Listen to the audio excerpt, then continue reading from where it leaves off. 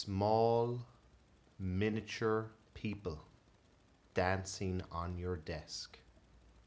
How many is too many? The answer is there could never be enough. In this tutorial, we're going to learn how we can have small, little tiny people doing wicked cool dances on our table. Stay tuned. Here we go. So the first thing you're going to want to do before jumping into this is record your video. So I've basically recorded this uh, half a minute long MP4. I've set it up to record my desk and I've got a video playing in the background. If you don't have some background movement, then it's just going to look like a still image, which is fine too, but uh, I think it's a little bit cooler to actually use a video. Uh, okay, so once you record your video, we're going to jump back into Cinema 4D and we want to load our video into material. So create a new material and open it up. We can create, we can call this background video. Turn off reflectance and in our color channel, we're going to load up the video. Click no to that and we need to create a background object to apply our video to. So apply our material to our background object there. Okay. So if we hit play, the video is not going to play at all. It's just going to look like a still image. So to fix that, open up the background video material and go into editor. Click on the animate preview tick box and now we can try it again. And now we can see that our video is playing inside in the Cinema 4D viewport. So next we want to increase our frame range because this video is going to be way longer than 90 frames. So to do that we can type in a number. Now this isn't a random number. This is the length of our animation that we're going to be importing in a minute. So just going to hit enter there and double click here. So next we want to import our character, our dancing guy. So I'm not sure if you're aware of this website. It's called mixamo.com. And here you're able to download characters with motion capture data attached to them. So you can choose any one you fancy at all. So I'm going for this guy because he's pretty cool. I'm going to click download there and that's going to download away. So once our character has downloaded, we want to import it into our Cinema 4D scene. So go to File, Merge, and find where you have saved your motion capture data. So I've saved the mine here and double click to open that there. Click OK. Uh, you don't want to reassign included tasks takes, so click no. And there he is. So as you can see, he's up on top of the keyboard. We don't want him there. So what I'm going to do is, I'm just going to pause that for a second. I'm going to use Alt and middle mouse click to pan the camera so that our guy appears to be on the table.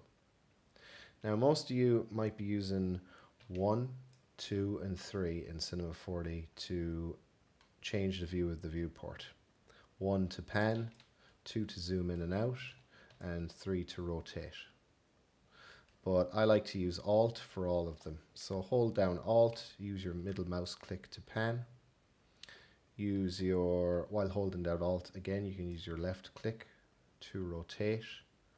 And you can use your right click to zoom in and out. So what we want to do is zoom to a level that gives our character the appearance of being relatively small. Now this depends on yourself. You might want him to be really big. In that case, zoom right into him. But I want my guy to be about this size. I'm going to zoom out to about this level. And I'm going to use pan to bring him to the starting to the position I want him to be in when the video starts. So I'm just going to rewind and do that. So I want him to be about here. and rotate the camera so that he looks like actually looks like he's standing on the table. You can use the grid here for a reference. So obviously you don't want him like this. You want him kind of like this. You can just eyeball it to get him in the position that makes him look like he's actually standing on the table. So once you're happy enough with his position, you can just scroll through your animation. Now remember, I set my animation frame range to 517 frames. If you've downloaded the same character as me, uh, the same motion capture data, then 517 frames is all you're going to need. But if you've downloaded a different character with different motion capture data, you're going to have to check how many frames is in that animation. So press Shift F3 on your keyboard, hold down Alt and use your right click to zoom out. And then you're going to be able to see exactly how many frames are in the animation that you've downloaded. So as you can see, my one is 517 frames long. Okay, so let's have a look at this guy doing his thing. He's dancing on the table, not a care in the world. Okay, so when he moonwalks back the way like that, I want him to be a little bit closer to the keyboard, so I'm going to pan pan the camera back a bit. And I'm just going to fix it up so that he's nice and close to the keyboard. And the reason for that is I want to have a shadow that's going to cast and it's going to travel along the floor or the table we'll say and it's going to go up along the keyboard here. We're going to go back to that in a minute. So that's looking pretty good. So next we want to create a floor. So click on the floor object and we want the floor to share the same material as our background. So hold control uh, to copy and drag that up to our floor. Now let's hit render to see what that looks like. So as you can see, our floor horizon is visible here and it's a different color to our background. So we want our floor to blend in nicely with our background. So to set that up, right click on floor, go to Cinema 4D tags, go to compositing and tick the compositing background tick box. Now if we render that again, you can see that our floor is blended in nicely with our background. Okay, cool. So now I'm going to set up a light and I want to bring this light over here and I want to bring it up here along the y-axis and let's see what that looks like when it's rendered so I'm going to turn on shadows so go into your light, go into your shadow tab, and we're going to go for shadow maps soft because that's going to give us an effect closest to this shadow, which is being cast by our mouse, by the mouse, which was actually in the video. So we're going to use this shadow as a reference. We're going to try and match up our, our shadow as closely as possible to this shadow. So let's see what that looks like again. Okay, so that's looking pretty good. Now what I want to do is I want my shadow to, to point in this direction. And the reason for that is because when I recorded this video, I had a light sitting on my desk that was just at the front of the desk and it was high up and it was pointing down. So if there was really a guy here, the shadow would be going in around this direction. So I'm just going to close that video now. And I am going to middle mouse click in our perspective view and I'm going to go to our top view and scroll out. Okay, so I'm just going to what I want to do is I want to bring our light let's open up our interactive render viewer so we can do this a lot quicker. Bring up the render quality just a little bit and let's start moving our light around. Seeing, okay, so now our shadows change direction And I am happy enough with the direction of that shadow, just the way it is. And I want to bring the light up just a little bit more to reduce the length of the shadow. Okay, that's looking pretty good. So I'm turn off my interactive render viewer and I am going to render this. Now we want to increase the shadow map resolution. So that's going to look way better. We're going to bring it up to about 1500 by 1500. Let's render that again. As you can see, it's a lot crisper.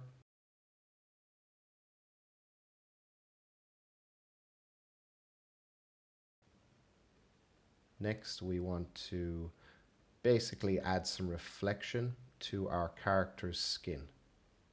And once we've done that, you're going to see that the table that he's dancing on is actually reflecting on his skin and it's going to look even more realistic.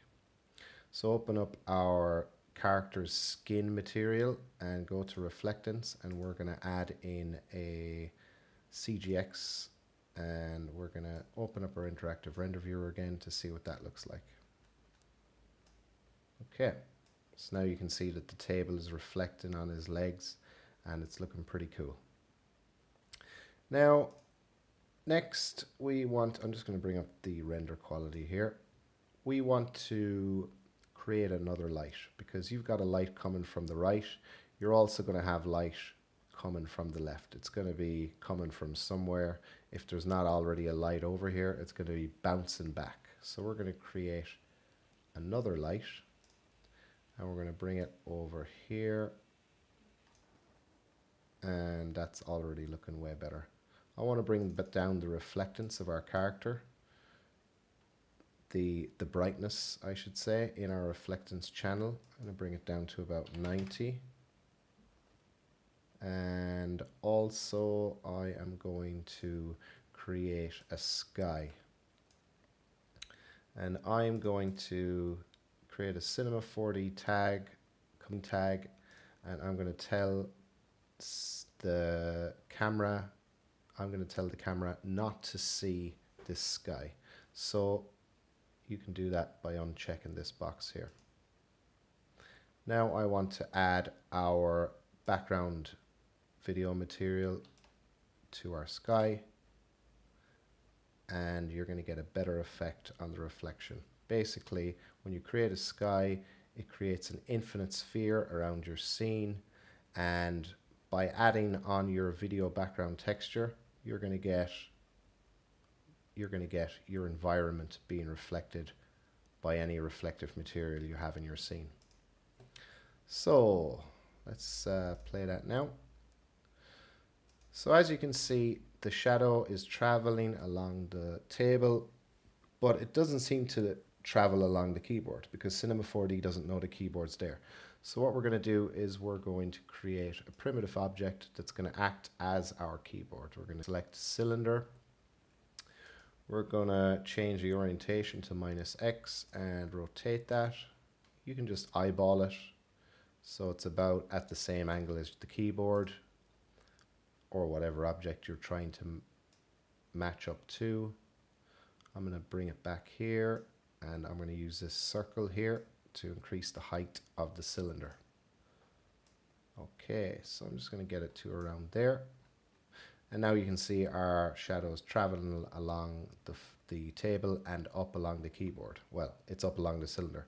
So to make this cylinder invisible, we're going to copy our background video material onto our cylinder. So now that our cylinder is invisible, but we can still see that it's not blended in with our background. So we're going to use the same method we did with our floor. We're going to copy our compositing tag up to our cylinder object and this has the compositing background tick box ticked. So hold control and bring that up.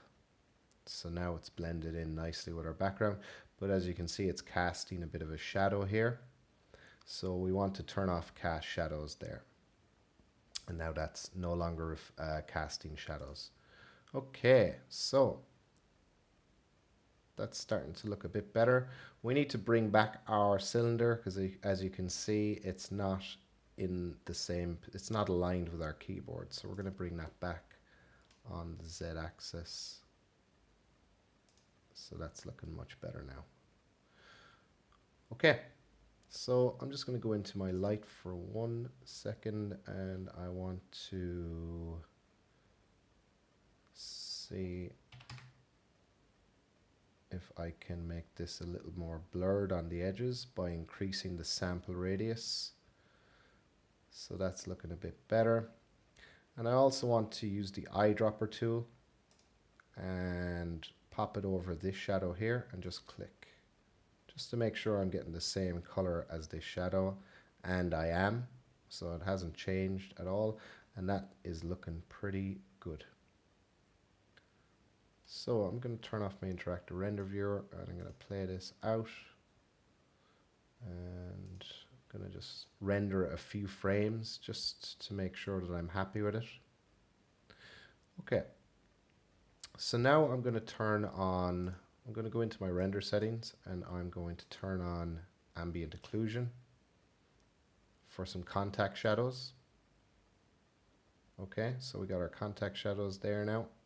And the floor could be a little bit closer to our character's feet. So middle mouse click in perspective view, go into any either right or front view and zoom in there with your mouse scroller. Um, select your floor and bring it up even closer to his feet. Middle mouse click again, open up your perspective view with the middle mouse click and let's hit render there to see what that looks like. So that's looking way better.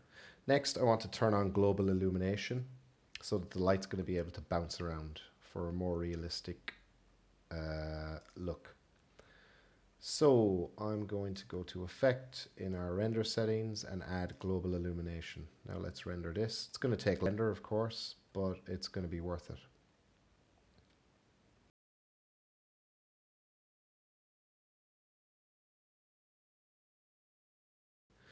Okay, so I am happy with that. So we can now set this up for render. So we need to first save the file. So file, save as, and I'm going to go here to save it out as table dancer. And in the render settings, you're going to want to go to output, set this to 1920 by 1080 and we want to render all frames. So that's going to go from 0 to 517. Um, another thing that we have forgotten to do is to turn on anti-aliasing. Now, the reason we want to do that is I will show you now in two seconds when this renders out. So Okay, so it's not very visible actually, so we might get away with not turning it on. But if you're getting some jagged reflections, like let's actually turn on our interactive render viewer now and see if we get much of a difference. So I'm going to turn off global illumination. Hopefully I remember to turn it back on, just so we'll get a quicker result.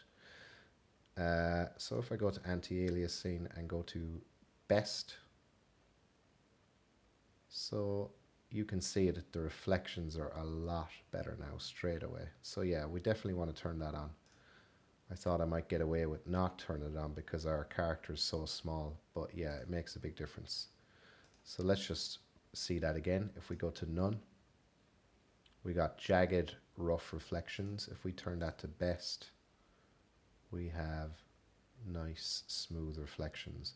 Let's see if we can reduce the max level to 2 by 2 anything that will help reduce render time is a plus. So the difference there is minimal. So I'm going to leave it at 2 by 2 and that's uh, going to decrease render time overall. I'm going to turn off this interactive render viewer again and we'll continue on with our render settings. So we are going to select a destination for this. First I want to set the format to MP4 and I am going to set the destination to table dancers. I'm going to call it table dancers.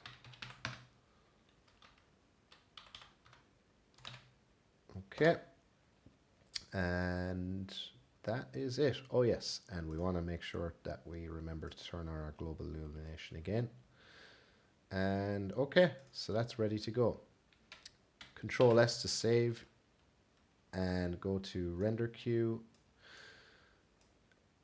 Click here again, hold down your left mouse click to go to add to render queue and click on start render. And that's it. That's going to render away and when it's finished you're going to be left with a really cool MP4 that you're going to be able to show off to all your friends. And that concludes the video guys. Hope you learned a lot. See you in the next one.